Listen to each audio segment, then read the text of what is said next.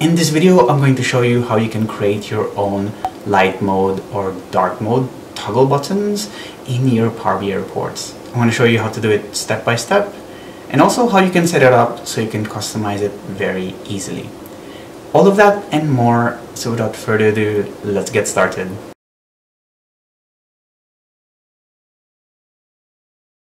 Hi, my name is Fernan and welcome to the Solutions Abroad YouTube channel where we cover tips, tricks and best practices when working with Power BI. I upload new videos every week so make sure you hit that subscribe button and the bell icon to get notified when a new one is out. If you worked with Power BI in the past, you'll know that the dark mode feature is not yet available for its UI. You can use dark mode for example in your themes down here you can use dark mode themes for your report, for example, but what if you wanted to toggle between dark or light mode? So here's a report that I created with a few simple charts and visuals. I've been using this data model to demo other reports in the past, but this is essentially a database for a fictional company, Northwind Traders, which sells grocery goods internationally. Let's say we want to add the ability to switch between different color schemes here in this report with a click of a button. There are many different ways that you can do this. You can use a bookmark to hide or show visuals, but what I want to do here is instead take advantage of the conditional formatting options available in our visuals. Conditional formatting allows you to dynamically set a value to a property. You'll know that you can use it if you go to any visual, for example, and if any of the properties have, let's say, this FX button right next to it, it means that you can use conditional formatting to it. The first thing that we'll need to do is to create a disconnected table that we're going to use as a toggle for our report.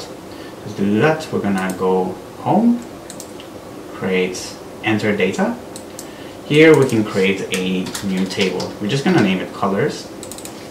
And then I'm just going to create a new column header called color. And then I want light and dark mode here.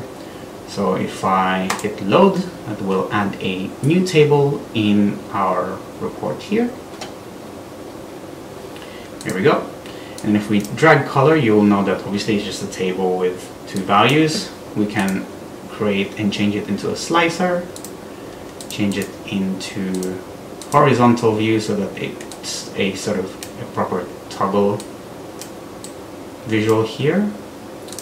We'll just go ahead and hide the header and in general I want to change the background, just make it transparent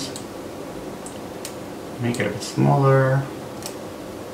Like this. And here you go.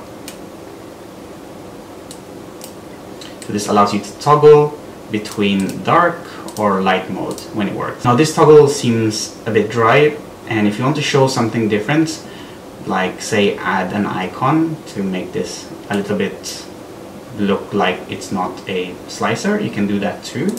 So we're gonna go and edit this color table that we've created. So transform, go to colors, hit the cog icon. This will allow us to edit the table once more. And instead of just changing it here, I'm just going to create a new column here. I'm just going to use it labels here. So this will be what we want to show in our slicer. Now, if you want to use emojis or icons, uh, you can use Windows dots that will open up the emoji board here. And let's say we want to show the sun.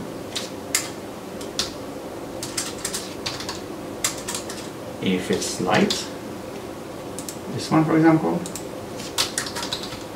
And then for dark I want to use the moon.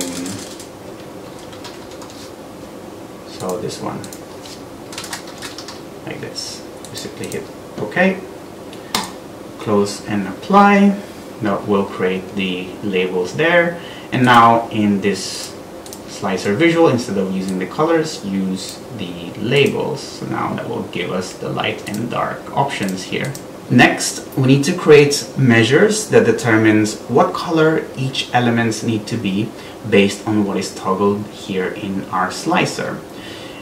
In this specific report, we only need to customize three different things, but bear in mind you can have more. In this case, we're going to look at customizing background color, text color, and the visual colors itself. So now we'll start by creating a new measure.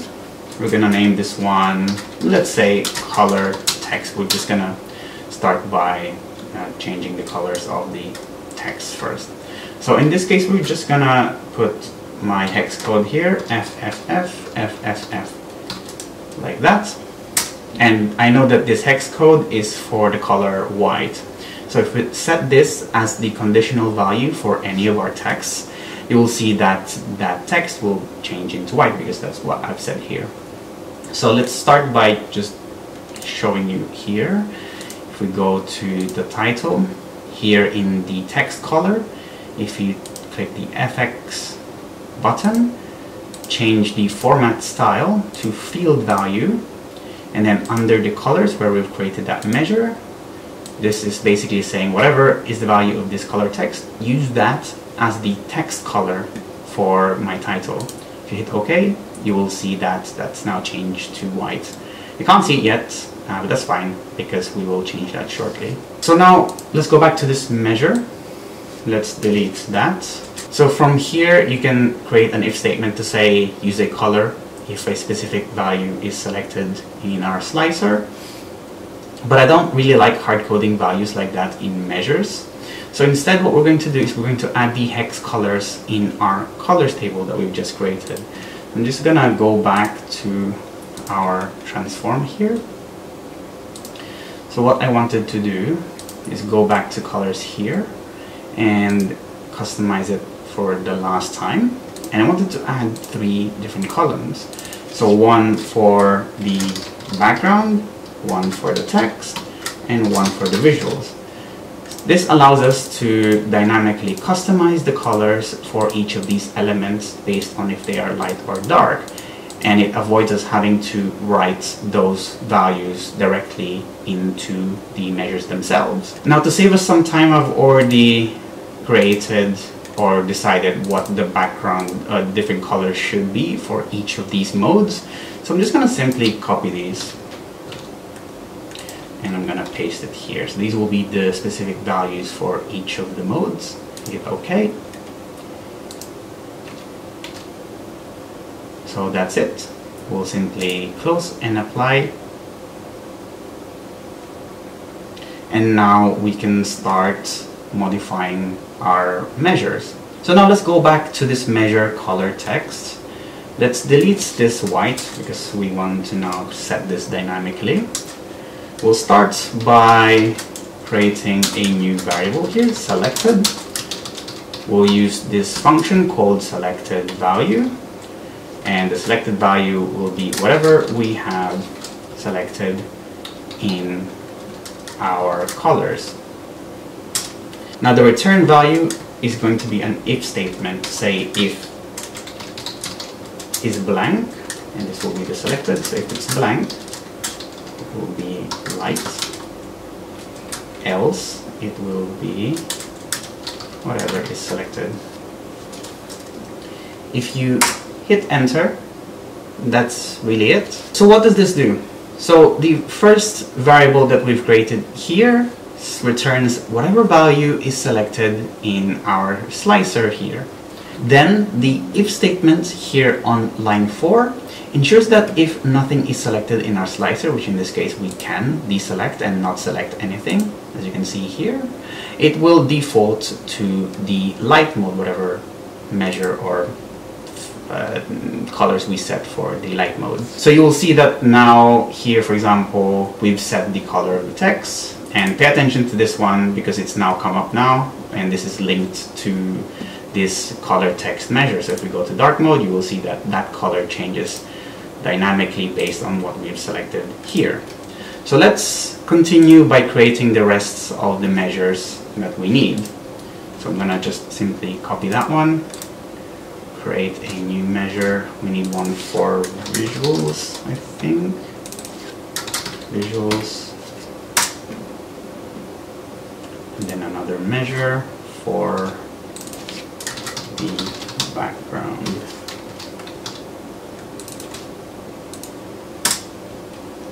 There we go. Now let's start applying these values to our cards in the page itself. So let's start with this one. So let's go to the formatting page here.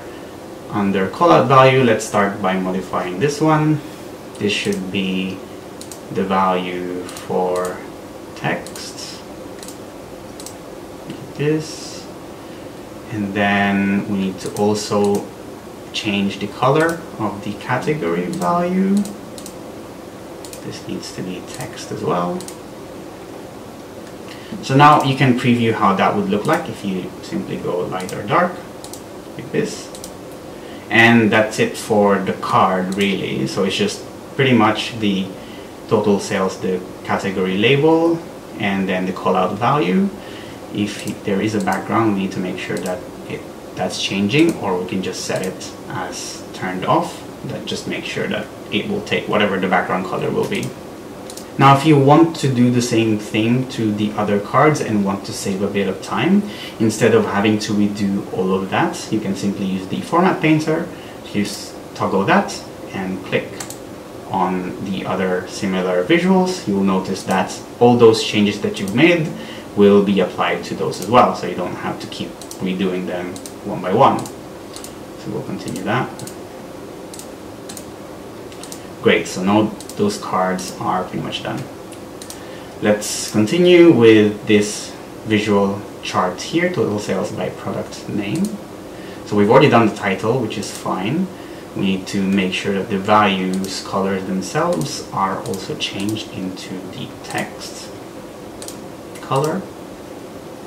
And then the bars themselves as well. Make sure that is also set to whatever the color is for the visual that we've set. Hit OK. Uh, just make sure then the lastly background is turned off as well. And now we can preview that. We go light or dark. That also changes. Now let's mimic the same thing. Just format painter, click, there you go. So dark mode, light mode, dark mode, light mode. Now the last thing that we need to do is to customize the background color. Now we need to do something of a workaround for this one because at the moment if you go to format page and try to change the background color you will notice that the conditional formatting option is not available for this property. But what you can do instead is to create a rectangle shape behind all of your visuals, which will act as a background.